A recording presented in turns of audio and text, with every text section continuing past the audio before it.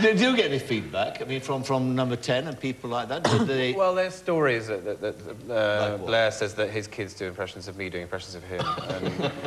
And, um, I, I, met him very, very briefly at, um, at, some opening about a year, a year ago, and um, I just said something about the government making it too easy for us, and, and all he just he's, he's very, very, he always looks knackered, and he just went, he just went my, my, kids, my, my kids. And I think that's it. He doesn't, he's far too busy to watch, but I think he's. And he, he did once, he made, um, I think it was the middle one, I think it was Nicky, stand up and, he said, look, watch this. And uh, this, this kid was going, I like apple pie. but not that it's got too much cream. Uh, unless, of course, you like cream. And, uh, and so Dad, Dad, Dad Blair was watching this, and sort of the mixture of pride and, and, and fear, I suppose. I don't know what it was, but anyway. But what about HRH? Because uh, uh, you go down to Highgrove and uh, there is oh. Prince Charles, and that's another one. That, uh, well, no, no, victim's not the right word.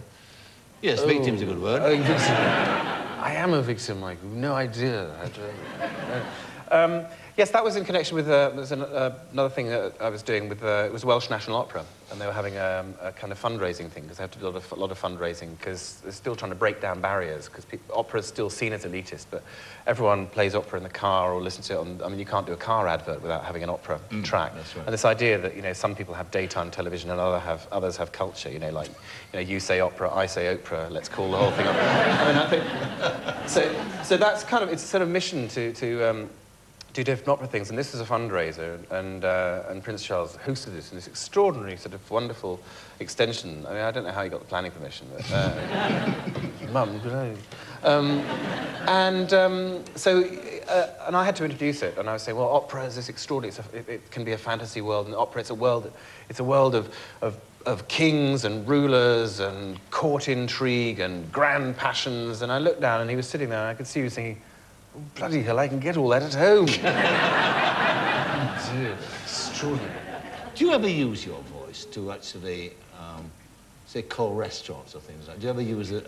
Uh, well, no, yeah, I did once as Mandela. And was, uh, it's Mandela? Yes, that was... uh, a table for, for four. No, make that three, because Winnie's not coming. but, um... I don't know, you get a kind of... Uh, then you turn up. They don't really believe it. I, I, I think, you know, yeah, yeah, yeah, Mandela. But um, no, it's always during the petrol strike when we were doing the um, uh, Tony Blair film. I used to turn up at petrol stations dressed as Blair, and you kind of hope that there would be a reaction.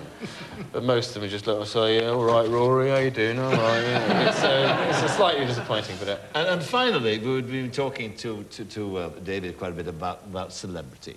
Um, and I, I, was talking to you before the show, and you, you just, I want you to repeat the audience, a wonderful definition of celebrity that you want Oh, yeah, it was... It was um, this, this puts it all into a nutshell. Yeah, it's, it's Quentin Crisp, who's, who's a wonderful, uh, tremendous... It wasn't from Manchester, although he did die there, strangely enough. and uh, so he, I remember he, I used to go watch his wonderful um, one-man shows he did about style, and he, he was saying, you see, the thing about celebrity, he said, if you find that the photographers are sticking their lenses into your laboratory, the secret isn't to build higher and higher walls, but to learn to urinate with style. and that's it. that's it. That's what we have to learn how to do now. the mind boggles. So the, the Channel 4 thing's out, what, a couple of uh, month's yes? Uh, no, three weeks' time. Three weeks' time. It's, uh, it's called 19th. The... It's called My Government My and I. My Government and I. OK, Rory Bremner, thank you very much indeed. Rory Bremner.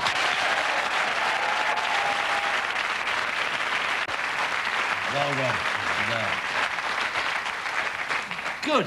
Excellent. Very good indeed. A reminder there of the um, jazz guitar. Was it, your, in fact, your... Uh, your great love, wasn't it? And yeah, it's always I always find it difficult, you know, when you're singing a song, trying to perform with your heart and head and voice, yeah. and all of a sudden you've got to grab the guitar, and you know, it's a, it's a bit difficult for me, but I mean, it's enjoyable. And and and the and the, uh, the bit of French here at the end as well. Now I know that you've uh, been a big debate with you about uh, what's the sexiest language to sing in.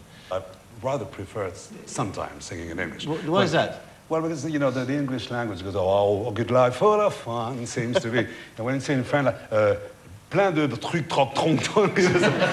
we have a lot of those sounds. We seem to be very romantic here, but yeah. not always. Now, uh, football, of course, you're a big football fan. Who's your, who's your favourite French team? French team? Oh, Arsenal. Arsenal.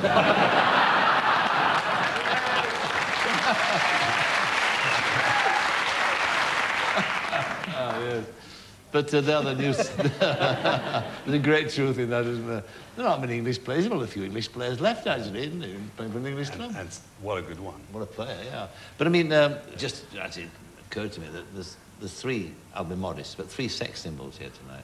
Yes. And I, I mean, I, I think it's, it's, the, it's the That's first time- exaggeration. No, no, no, no, no, no, you're a sex symbol as well. Uh, hardly. You I could- can be one. You could, yes. Actually, when we were filming, I, I came home as Tony Blair. There wasn't time to change, so I just had to come home as Tony Blair. And my wife said, "Well, why don't you, you know, keep that on for bed?" And uh, so, but she. But she made me promise not to do it as Robin Cook.